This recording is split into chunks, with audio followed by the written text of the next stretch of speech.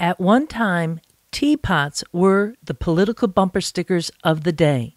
And in this episode, we hear about one teapot in particular at the Museum of the American Revolution in Philadelphia and why this one person teapot is called the cider pot, which is cool to begin with, but it gets better.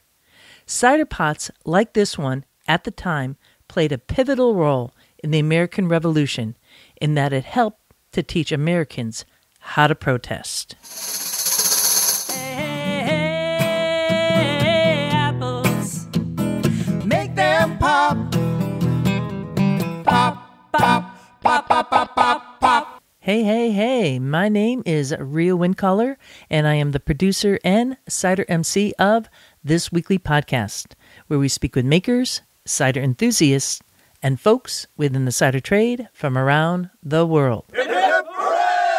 We're going to be speaking with the curator of collections at the Museum of the American Revolution, and that would be Mark Turdo, who you might also know has a blog called Pommel Cider.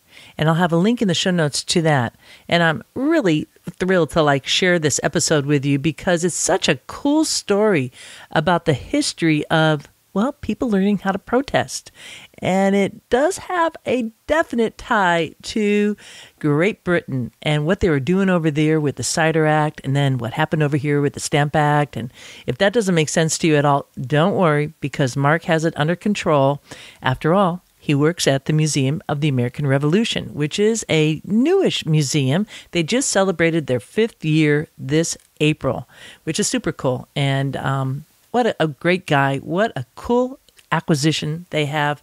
This cider pot. It's a really neat story. So stay tuned for that because it's going to really inspire you a bit about our history and the connection with cider and the American Revolution. So we'll get to that shortly, but first, a wee bit of news from out and about in Ciderville.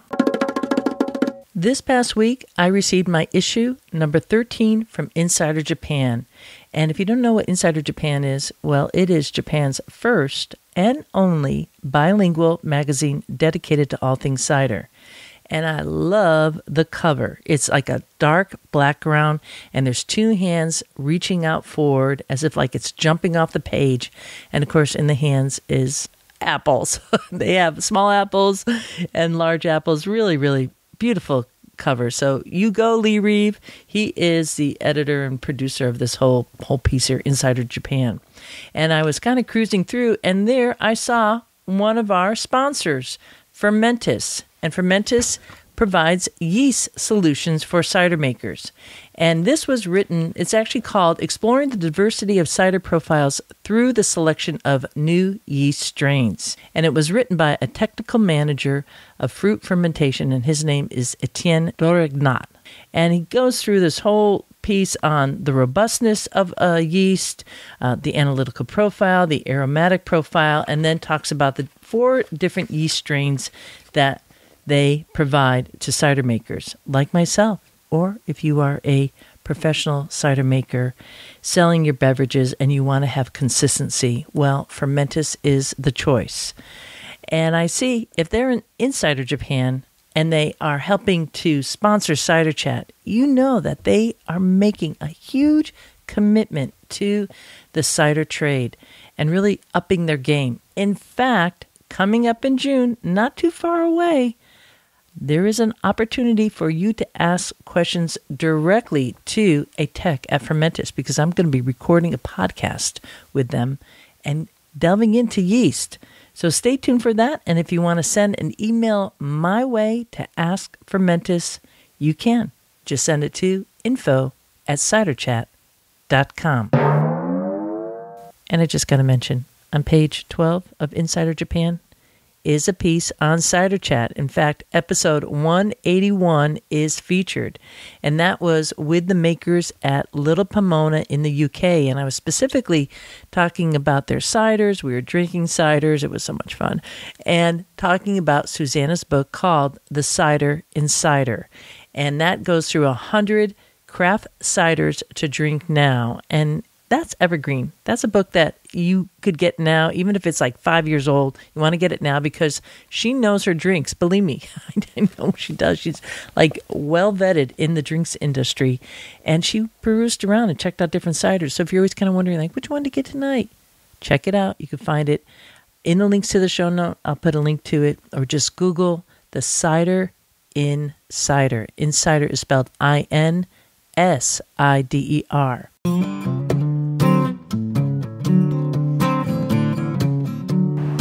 That roar that you hear in the background right now, that is the sea coming back in to surround Mount Saint Michel.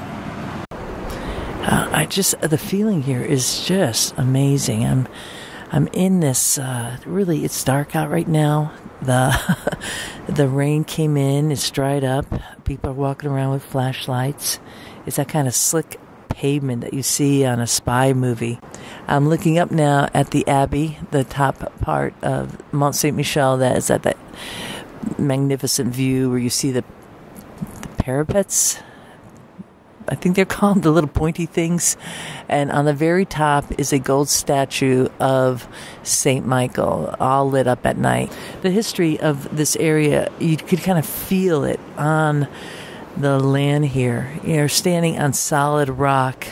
I just don't even know how they built it. It's kind of like the Normans owned Great Wall of China, just rock walkways, some that kind of lead nowhere, stairways to nowhere, uh, and stairways down to nowhere. They, maybe they walled it off to kind of control the crowds, but there's little nooks and crannies everywhere, and you feel the the age, the weight, the time that has passed through this place. It's just absolutely beautiful, and certainly one destination that I plan on bringing the next Totally Cider tour to Normandy and Brittany too. So I'm going to step away now and just bring you out so you can listen a little bit more to the sea coming in. There are waves coming in, and there's a specific thing about the waves that come into this particular spot. It just comes in like like a flash wave. The force of nature, the force, the wonder of nature, it's so big. It's so much bigger than all of us. That audio clip was recorded in 2020 as I was forward thinking about a totally cider tour going to Normandy and Bretagne. And I've had to wait two years now to offer this incredible tour to you.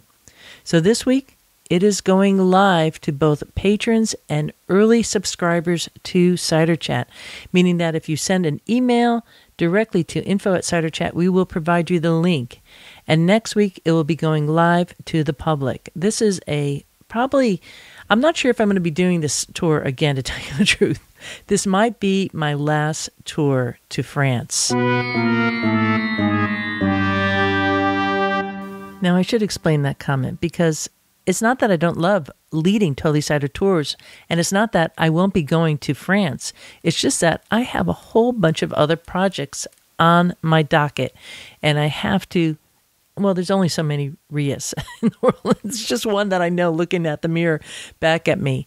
So this may be it, folks. And if you've been listening to this podcast for a while and have heard the other folks who have gone on this tour with me to France already, you know that it was really a trip of a lifetime. And this one's going to be that and even more.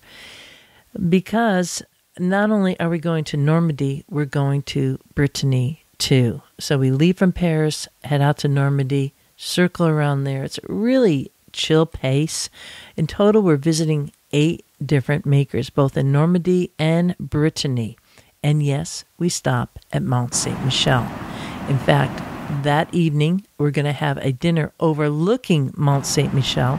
So we get to watch the sunset over the Mont, which is, it's just one of those photo ops that just blows one's mind. And then we head down to St. Malo, which is in Brittany, circle around there, meet with some cider makers. We're staying right on the water. It's a, a stunning coastal city.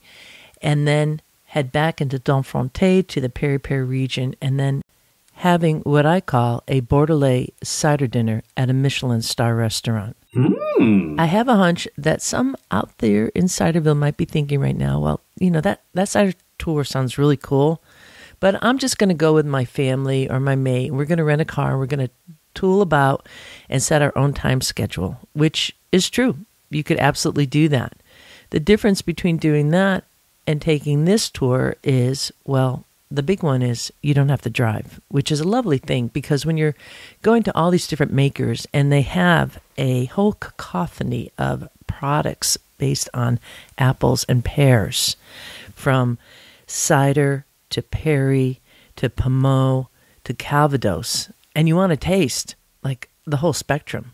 You don't have to think about getting back in a car and driving. And I don't think I need to say more about that. But that's a beautiful thing. And not only that, you know, it's out in the country, it's a bit of a distance. So while we're on this luxury bus with our own dedicated lavatory, uh, aka El Baño, uh, El to- Toiletto, um, you know what I'm saying? You don't have to worry. I mean, there it is. You're okay. You're on the bus. You don't have to worry about finding little rest areas. Because believe me, when I have been out in the French countryside, it's not like there is little rest areas everywhere. They're actually kind of far and few in between, and it takes a while to kind of figure that out. But you know, that's okay. You could do that. You know, we will survive. But on the bus, we do not have to worry about that. So we have a dedicated driver, which is lovely. We also have a full on translator the whole time. So you can kind of dig into the different stories, the different techniques, and conversations with the makers who may or may not speak English. Which is also something to consider when you're having your free evenings where you're able to have dinner on your own and just go at your own pace. On the Totally Cider Tour, those reservations can be made for you and recommendations can also be made. But I know that some travelers who like to go solo have no problem with spending the whole day driving, going to the tasting rooms, and then going back to the hotel and spending, you know, we've all done it, right? Spending that time on Yelp reviews and trying to figure out, like, what's the distance? How are we going to get there? And then trying to figure out how to explain to the person who is probably not a native English speaker and making that reservation. And more often than not, we find out that it could be too late timing wise because just the way that reservations are made in Europe. So that's up to you what to choose. But on this tour, all that will be taken care of for you, which allows you to really drop into your vacation and get filled up, get filled up with some time because we all deserve this after two years of watching those days pass us by. That was a hard one, wasn't it? Ooh, it just pains me to think about that. But um, hey, we're looking forward to happier times ahead and opportunity that just lands at our doorstep and taking it. So, September 18th through the 24th, we meet up in Paris and sail away out to Normandy and Brittany. Come along with me on this Totally Cider tour. If you want to have more info, send an email to info at ciderchat.com. Walking through the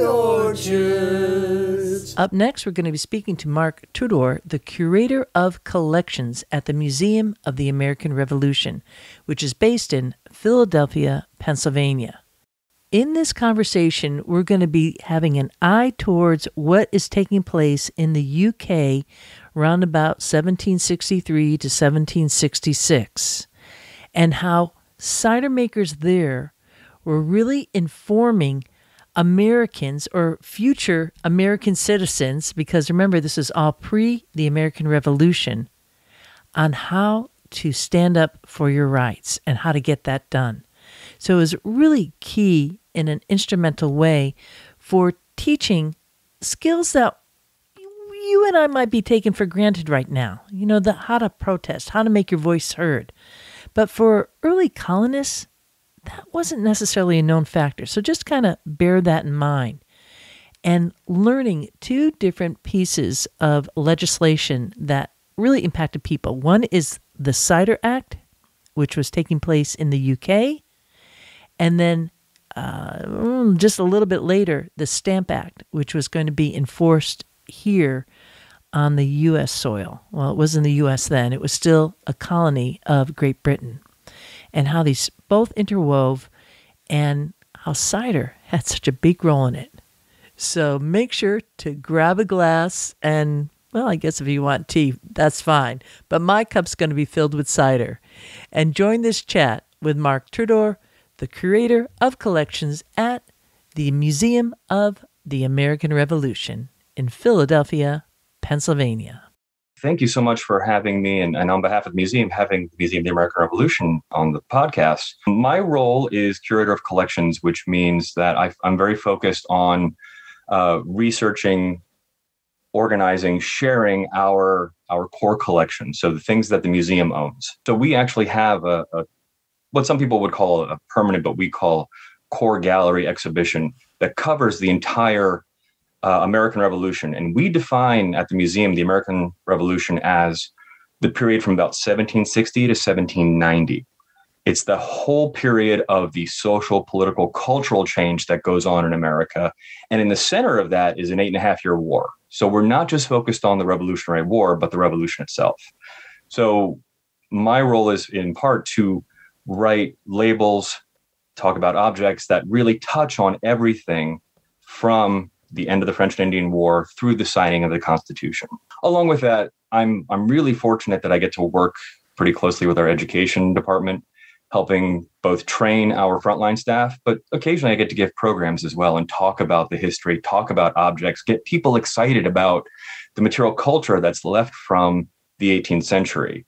Um, and we're fortunate to have a, a, lot of pieces that speak to some of these moments uh, in a way that it's not they're they're not generic items. It's not just a musket, but actually we know often the regiment sometimes the company that that red, that that musket was used in, and that helps us tell a very personal story. And that's that's one of the keys to what we do is we tell personal stories about the revolution that help explain the larger revolution. So it's not just this mass of people. It's not Washington and a faceless army. It's the individuals as much as we can, and we we really are committed to telling a diverse story. So it is not just um, political leaders. It is not just authors, but we talk about how the revolution was impacted and, and influenced by people at all levels of society on both sides of the Atlantic. Let's get down with this uh, cider pot that the museum has now acquired. Let's first begin by describing it because I don't know if folks even know what we're talking. It's not an actual a pot like a, a little you know vessel in that way. Right. It's not a cooking pot, but it is a teapot and it is very small. Um, we tend to think of teapots, you know, we tend to think of the ones you can pour for company, uh, and they're quite large. But this one is actually very small. It's it's maybe six inches across. Oh. Um, it was surprisingly how small it was when we when we unpacked it. Um, but it's beautiful. It's delicate. Um, this one, and in fact, I'm only aware of one other no cider act teapot in existence, and it has a very similar decoration, but not the same. Um, so it has the same form, same same molded decoration, but the painting's a little different. Um, but it's it both of them still have their lids; they're both intact. Um, and this one says it, it's it, as I say, it's small. On one side, it says "No Cider Act," and on the other side of it, when you turn around, it says "Apples at Liberty," which is a wonderful phrase. Um, it if you didn't know about the Cider Act, I think it would be a little confusing. But it's you know one of the things that kept coming out of the Cider Act time period was um, they were sort of making fun of the taxation as we're taxing apples, and there's a good reason for that because obviously it's led to the original sin of man. The sin of um, man. Can you? well, the first, the original sin. They ate right. the tree, the apple from the tree of knowledge. So apples at liberty that you're just kind of pulling it off at liberty and, and... that's what I'm trying to figure out. It's it's a uh, there's really not a, a, there's no one person who wrote and said, well, we're all going to say apples at liberty and here's why. Um, we wish that would happen, but you know, it's job security for those of us doing research that they don't easily answer everything and we get to go spend time in archives researching.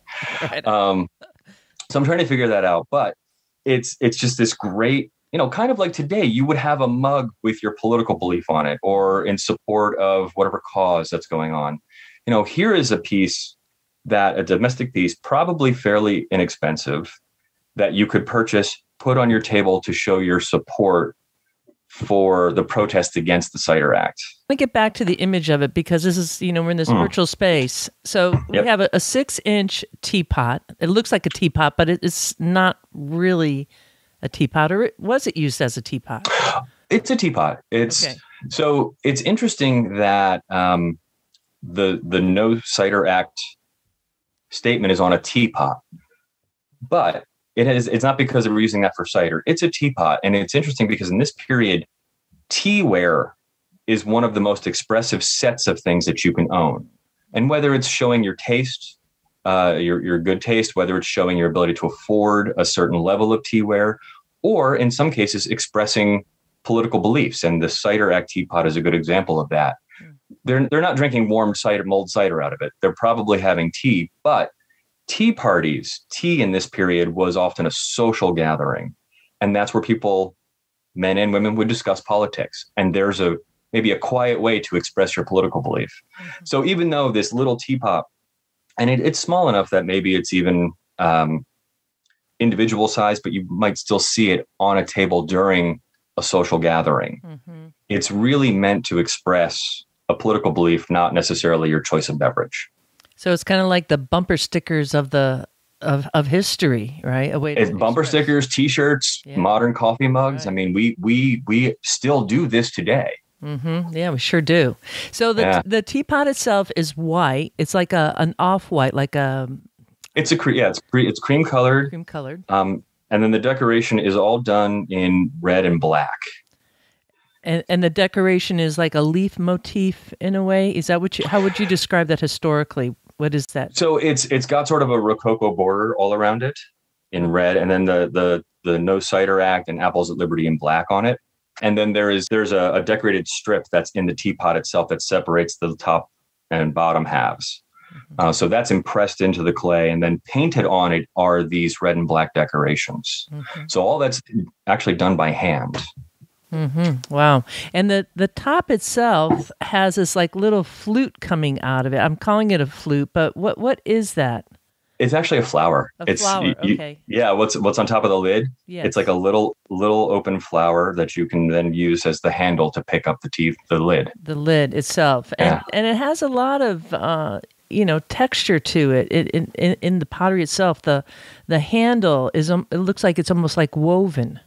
Yeah, the, the handles are, are made, and that one's a really beautiful one because it's two straps, really fine, delicate straps that they're both attached at the top of the, the pot, and then they're sort of woven around each other as they reach the bottom.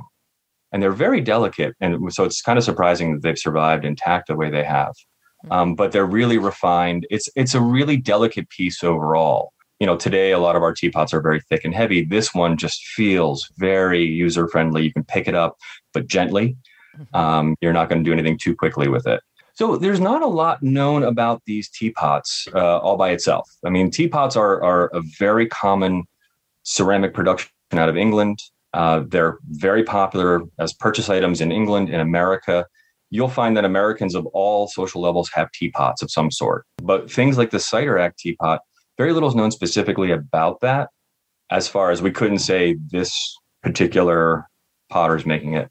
What we know is it possible that they just applied the decoration to an existing pattern. They didn't necessarily make a new teapot pattern just for the Cider Act. Um, one of the nice things about one of the things that's handy about hand decorated items is you can really change that up as as you need to.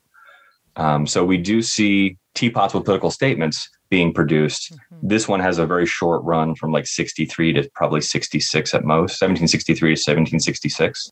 It's the statement No Cider Act that helps us understand why this particular pot was sold and who was interested in it. The, the acquisition of this came out of England. That I know of, no uh, Cider Act teapots were ever sold in America. In fact, the only thing I have ever found that says no excise that's related to the Cider Act is a shoe buckle that came out of a Virginia plantation. Um, and that's the only material item I found so far referenced to the Cider Act. These teapots seem to have been pr- made for in England for an English market. hmm So the Cider Act was like like getting billboard and on the, all these like little products all over the place. So maybe we should go there next because I know like listeners are like, what is a cider act? And it's not something that's really been talked about a lot. So I I really welcome this opportunity. So the Cider Act is important as uh, as an event for both England and America as Great Britain is coming out of the French and Indian War, what's also known as the Seven Years' War. So at the end of that, Great Britain, who America was part of, we had come out as the victor. We had beaten France and Spain. Uh, America had almost doubled in size. We'd gotten Canada from the French uh, and a number of other territories. However, that meant that England was in debt quite a bit to the tune of, I think, of around 140 million pounds. And they needed to pay that off. And in America, we often go right to, well, that's the Stamp Act. England had to pay off its debts. They had, we owed them for whatever reason. They began taxing us. There's actually a few intermediate moments in there, and, and the Cider Act is one of them. We call it the Cider Act. That's the shorthand for it. And the reason it's shorthand is the formal title is, and this is a wonderful title, an act for granting to His Majesty several additional duties upon wines imported into this kingdom and certain duties upon all cider and perry. There's a reason we're calling it the Cider Act. it's there's about 73 sections, articles to this this act. And it does several things. It's not just about cider and perry. It actually establishes three lotteries hoping that part of the proceeds will help pay off the debt. Um, it also taxes, and I love this, it taxes French wine, vinegar, and all imported cider. So anything coming into England is going to get increased taxing. And then they begin to place, not for the first time, by the way, there have been a few cider and perry taxes in England before, uh, but they begin to place new taxation excise is called on cider and perry production. Taxing all imported cider and perry. Now, Mhm. the English are renowned for making a bucket load of cider and perry in, in the Sure. world even now. So, Yeah. um, let's just talk about that just for a moment because I don't think people realize that there was cider and perry being imported to to England at that time. What's what's interesting, and it's funny you say that. Like we tend, I think, today to think if you have a, a regional, you excel at a regional product, you would never want anybody else's. Um, and I, especially now, as as American wine, American cider has has improved so much in the last several years, last several decades, we still like our imports. There's still a cachet to having an imported drink. Um, even if you make something just like it, maybe you think, well, I'm going to serve the finer Normandy cider to my guests just to show that I can afford it. I can bring it in. Um, so importing this is still important. They still want in England, they still want to have access to French wine, French cider, French vinegar. Um, even though there are, as you say, there are native industries for all of those things. Okay, cool. Thanks for clarifying that. It's it's a little strange because we, we, especially in this period, we tend to think everything's very local. Mm. But the 18th century, the world is very well connected through trade, and people want to have imported goods, Mhm. um, which actually becomes important a little bit later with similar teapots here in America. So it's Mm. you know all the world is connected pretty well in this period. Maybe not. It's certainly not at our speed. It's certainly not at our level, but. I could, I could easily be in Herefordshire and still want a good Normandy cider. Yeah, cool. Okay, all right, a little sideways there, but uh, you were talking about the the taxation piece here. So, England winds up needing to to pay for its its debts, and it, it's coming in at about 140 million pounds. They come up with this idea of taxing these imports, creating a lottery, and then taxing cider and perry, and they they're hoping to raise about three and a half million pounds, which, based on that 140 million, doesn't seem like a lot, but it's helping the shortfall between what they know they have and what they need. And they do this because, again, as, as I said, they they have established we've already been taxing cider. We're just changing it. They're not just changing it though, and it's actually uh, probably more invasive than anybody expected it would be. Parliament thought, well, because we're just changing it a little bit, it won't. No one will have a problem. It'll be fine. But what they do in the Cider Act, and this is developed in 1762, voted on, and by March of 1763, it it becomes law and it's announced in publications. And there quickly becomes, just as as we've seen with uh, cider legislation in America recently, where you know something's coming, you hear what it's probably going to do, and it takes a little bit to actually read the law to figure it out. There's there's a little bit of gossip ahead of the announcement of the Cider Act, and no one's happy with it. In fact, even before it passes, there are people saying this is not a good idea. And the reason they're saying this is the Cider Act does several things that previous taxes had never done.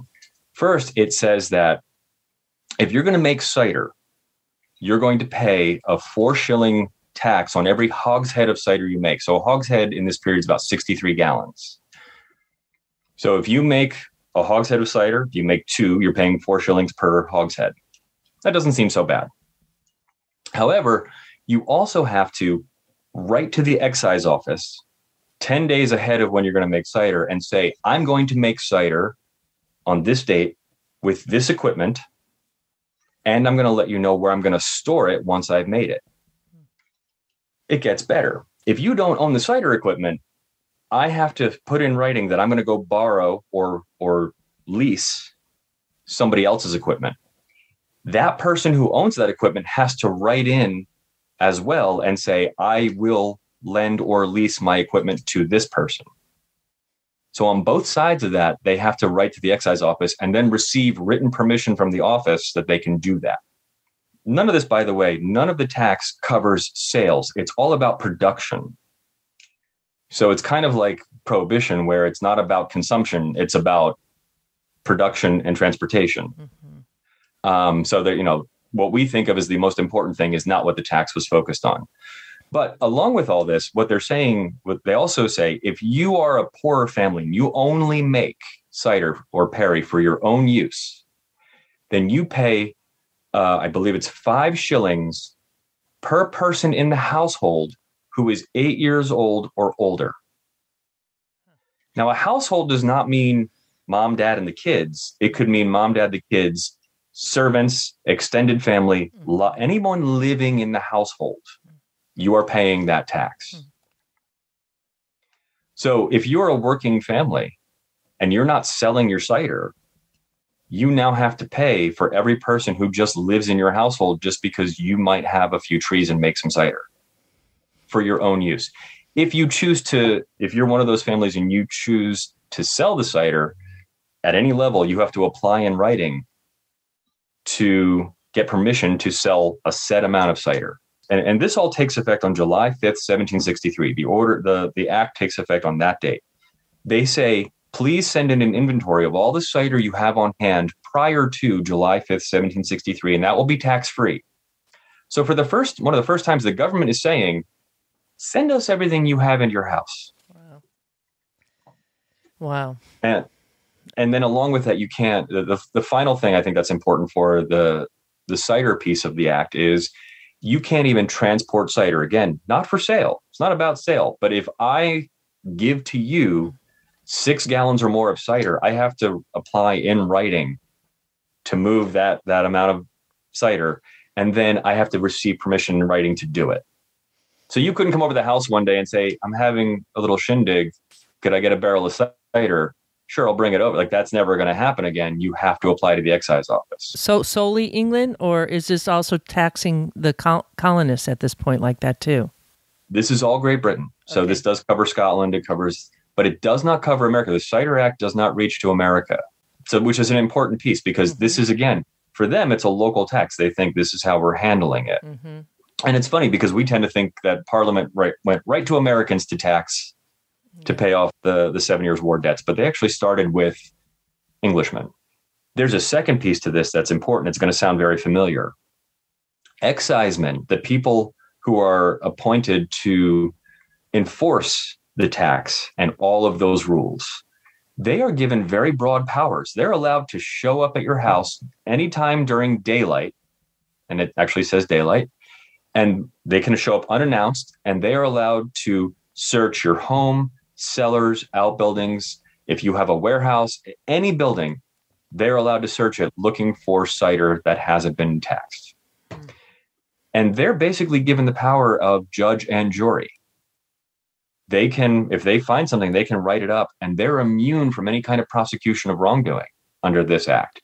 Whatever they say goes. That's terrifying. I could I I could almost feel it's almost palpable what was taking place in these households when they were starting to Yeah. actually understand what was going on and the Yeah. fury that must have just been kicking up. I mean, it gets me angry thinking about it so many years ago, but Oh, yeah. wow. this sparks all of these protests and this is how we get to the the no cider act slogan mm-hmm. that people not only in the cider counties i mean this actually the lord mayor of london is writing parliament saying this is an abridgment of constitutional rights how can you do this you know the idea of every a man's home is his castle comes out of these kinds of arguments in england and are it actually comes out of an earlier no excise argument from the 1730s that's readopted Hmm. during the Cider Act time period. And we have members of parliament saying you can't do this. It's taxing the poor. You're abridging people's rights. Right. Um, you know, it. This sounds familiar to us, but it's not happening here. It's just a few years earlier in England. So then the roller coaster started taking place because of this. Uh, Yeah. What what happened next in the the history and, and its impact on the American Revolution? So as soon as the law is passed, protests begin, and, th- and some of the protests are pretty, as we would expect, violent. You know, there there are mobs, there are people out in the streets, out in the fields. There are people trying to keep excise men away from their homes, and at a at a political level, the next two years, so through the rest of 1763 into 1764, um, there are people trying to amend or repeal the Cider Act, and with no success. There, it's no one is changing it. It did cost the the Prime Minister of England his role in 1763, but beyond that change, the next administration continued the Cider Act, and it was in place for three years. Now, in that time, Americans are getting news of this. They're reading about it in the newspaper, and they're we haven't yet really had a reason to protest. We're just sort of observing from a distance, but we're seeing you know signs that maybe this could happen here as the Stamp Act is announced. Okay. The the Stamp Act is is is actually an, a tax on paper documents and certain goods. So basically, anything official, uh, legal and court documents, religious documents, wills and probates, uh, bills of lading and shipping documents, liquor and wine retail licenses, uh, political and military commissions, land surveys, land sales. You know, anything that comes with formal documentation was taxed under the Stamp Act. My two favorite things that are taxed are cards and dice. Hmm. So, literally, under the Stamp Act, there isn't a social level, there isn't a role that you might have that isn't affected by the Stamp Act. And for the first time, the government seems to literally be, the Parliament seems to be in every aspect of American life in a way that it never was before. You know, I can't even play a game of hazard with the dice without having to pay the, the Stamp Act duties. That that's outrageous. The Cider Act came into place on July 5th, 1763. The Stamp Correct. Act It's supposed to take effect later in 1765. It actually is repealed before it takes effect because the American protests are so great. And, and I should say, one of the reasons that Americans are protesting as well, and this will sound familiar after the Cider Act, is if you were caught breaking the, the Stamp Act law, you would be taken, you could be taken to court. And it wasn't just your local court. Americans were used to if something happens, I'm going to be brought in front of a local magistrate and a jury of my peers, essentially.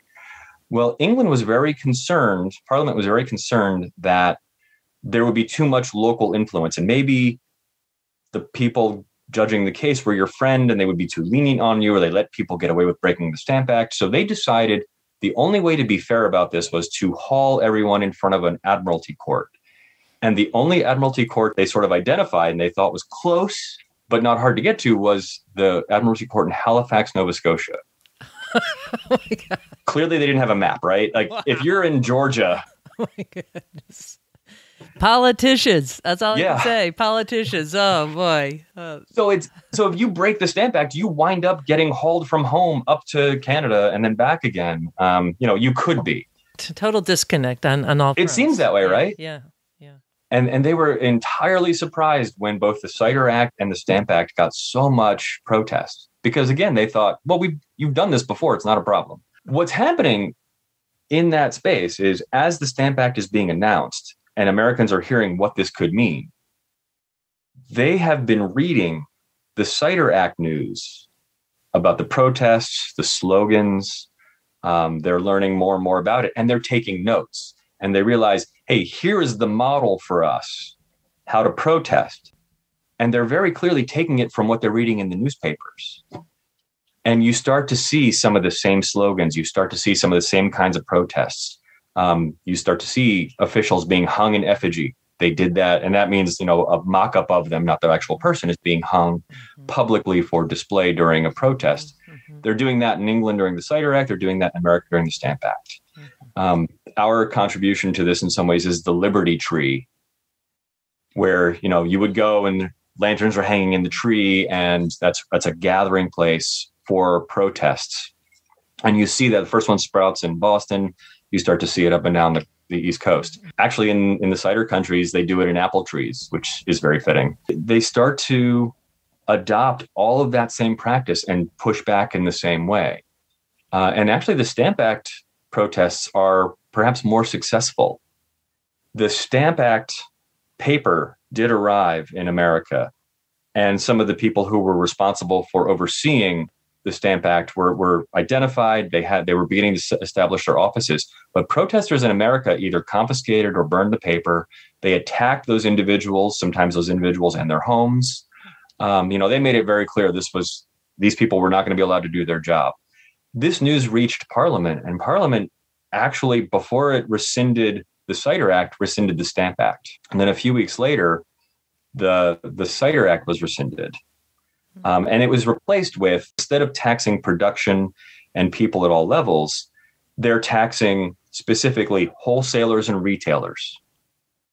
So if you're going to trade in cider, whether it's directly to a consumer or to a tavern keeper, you'll be taxed. Tavern keepers are taxed. But you're not being taxed if you're just making cider for your own use. What was the the fallout of that at that point that they repealed the, the Stamp Act here in the colonies, and I keep on saying colonies because I just, you know, for folks listening out there, this was pre the actual start of the American Revolutionary War. Oh yeah, yeah. Um, so we were still a colony here. What was the the sense about that? Was there like a sigh of relief, or was it still like this curdling boil that was going on? You know, underneath the the teapot, saying, "We see this coming." Uh, in England, it seems to have calmed everything down the protest seems to have gone through 1766 as they're repealing it. But the big years of the protests were 63 to 65. Mm-hmm. Once that happened, once, once the repeal came, everything seems to have calmed down. England spreads it out. Actually, at the same time they're taxing cider, they're taxing malt makers. So beer is part of this, but it's a separate act altogether. Mm-hmm. That doesn't get amended as much. The protests do rescind, they, they go away, they disappear there. America the colonies here, and you're, you're right to say like we're still colonies. Often they're referred to as provinces in this period, um, but we're still colonies of Great Britain. Parliament's response after the Stamp Act is repealed is to say, okay, we're not going to tax you, but we are asserting our right that Parliament has a right to tax you. Mm. And Americans are not crazy about that either. In the past, Parliament had taxed Americans, but actually taxed each of the colonies. The colonies would then tax their citizens, send money to England. Uh, during the French and Indian War, in particular, every colony was was given a certain portion uh, of funds to raise to help the war effort, and then they would go through and whatever means they chose to, each colony would would raise those funds, send them back to England, or cover expenses. In America, as they're asserting, no, no, we we have a right to do this. They then begin issuing other taxes as well, and those, as we know as we go along, tax all manner of, of objects from daily life. They start, they're equally invasive in different kinds of ways. And in America during the Stamp Act crisis, this again might sound familiar. We begin purchasing items actually made in England that are helping us protest the Stamp Act. Oh. So there is no Stamp Act teapots made in Britain that are made for the Americans sent over here. We buy them and put them on our tables just like the Cider Act protesters did in England. What what does this teapot mean to the museum? Here's a moment where Americans are learning how to effectively protest, hmm. how to get their concerns across to what they feel is an otherwise uncaring parliament. And the teapot, which you know is, is how you is a communications device as much as it is a teapot. Hmm. It is there to show you you being the guest to my home or even even other members of the family you know it's mm-hmm. the teapot is there to communicate to you that this is what i believe this is where i stand. And you know it really helps us understand how americans protested. It helps us see the roots of our own protests. And you know it's it's i would say it's an otherwise untold story. The teapot actually allows us the ability to tell the story about how we learn to protest effectively in a way that no other object I can think of does. Hmm. You know, we tend to think of American protest as we just have always believed this. We were Americans were always on the path to independence, but we weren't. When that teapot was created, as I said, we were very patriotically British. That teapot is the beginning of the change for us. Hmm. That teapot is how we learned okay, maybe we have some rights we need to protect, and here's how we best do that. It's a it's a really important piece for sort of the the the seeds, if you will, of our ultimate independence. It taught people how to stand up for their rights. This was a pivotal point, kind of like the Industrial Revolution, a change in the world of thinking about our place at home and in business. I, am really pleased you sort of keyed in on learning how to protest mm-hmm. effectively. Mm-hmm. Um, I think that's something that we don't think about. We think you just get a sign and a stick and you walk out into the street and that's a protest. Mm. But if you're going to do something effectively, it's more than just that. You're, you're, it's part of a much bigger plan. And taxation, whether it's cider or paper documents, you know, this is the the one thing that really I think strikes at the heart of a lot of these arguments that we don't often think about. It's not just I don't want to pay taxes. It's how is the tax fairly applied and fairly adjudicated. So that if I do break the, the rules in whatever whether I whether I meant to or accidentally or you just think I did and I didn't like how do I defend myself as well? And we don't often think of cider being in the crosshairs of that but it kind of it was it very much was. Both acts get at the heart of yes we need to tax to support our government, support certain things that we need in daily life. But how do we do it so that it's fair, so that it's not literally taking from people more than they can give? And how do we defend our personal rights when something happens? And the teapot, both that teapot and no Stamp Act teapots, those are quite literally the stars of those shows of you know here's here's how people at all levels not only had that argument, but made a public statement. The teapot itself is a protest. Just putting that on your table is I'm a protester. Here's my protest right now. It's a charming piece. We are looking to crowdfund our acquisition of it. And we've actually set up a, a website for that uh, that anybody can go to. All, all donations are tax deductible. Um, and the, the URL for that is support.amrevmuseum.org forward slash cider. And AmRev Museum, which always trips people up, is A M R E V M U S E U M. All one word, no spaces, no dashes. We'll make sure to have a link in the show notes to that so folks can follow up if they're not writing it down.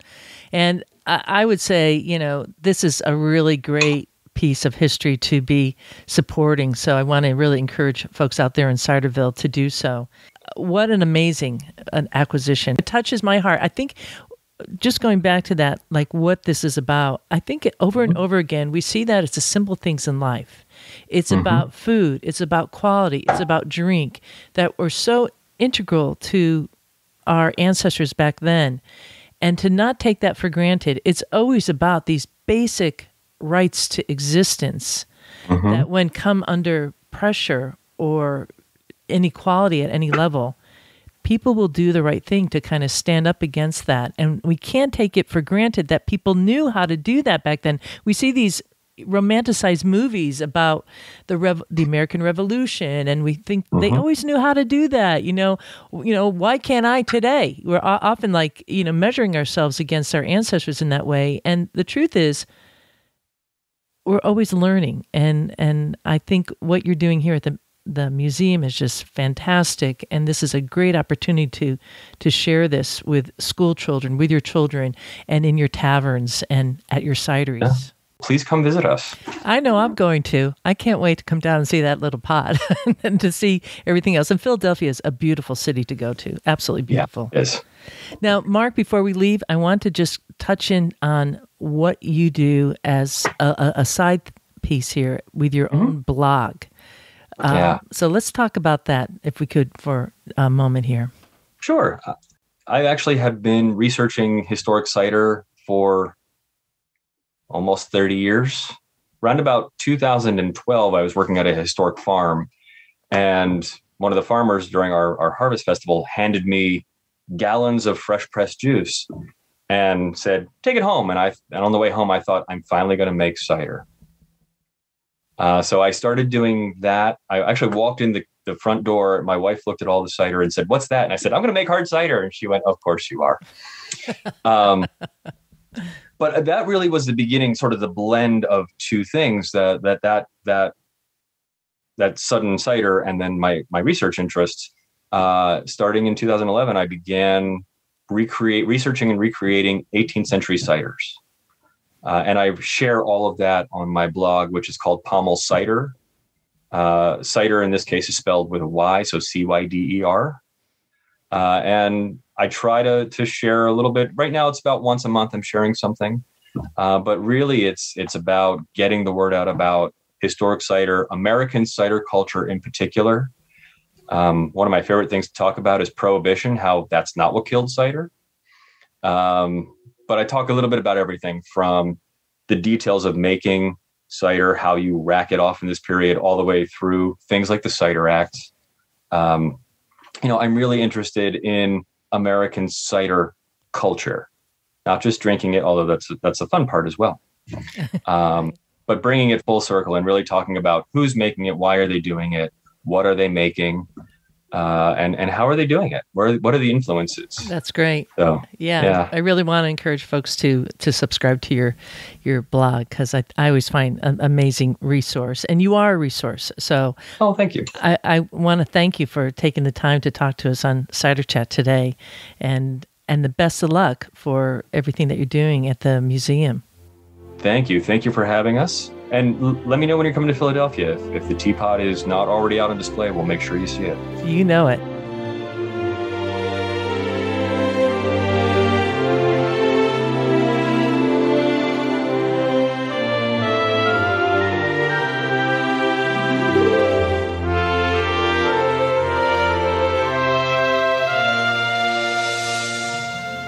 Big tip of the glass to both Mark Turdo and the Museum of the American Revolution.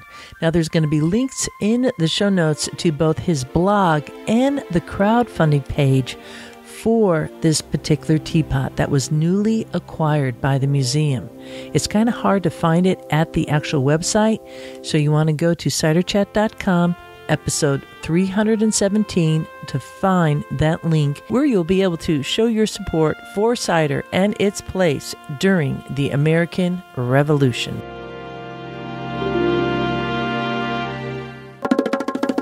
And with that, I leave you here. This is Ria Windcaller signing off for now. Looking forward to seeing you in Ciderville.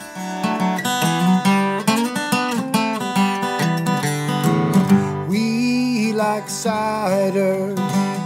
We like palms. We love orchards and having fun. There is a reason. There is a reason why we do it like this. Oh yes, there is. There is a reason why we do it like this. Oh yes, there is. There is a reason why we drink it like this. Oh yes, there is. There is a reason.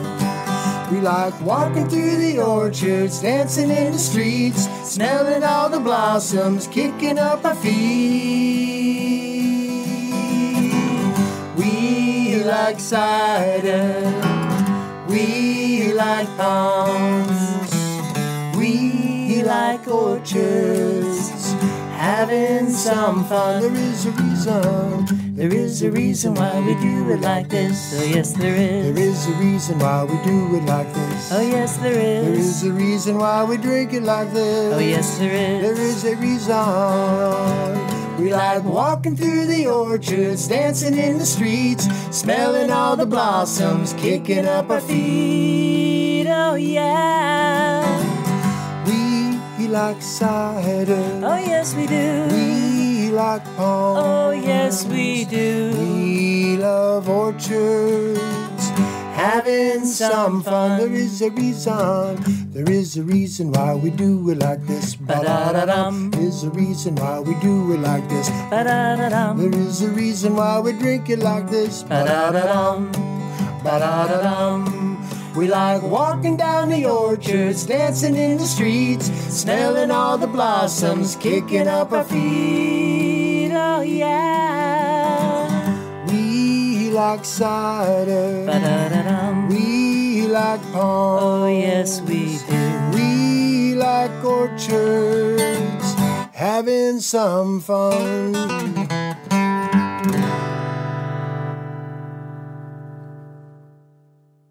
Yeehaw!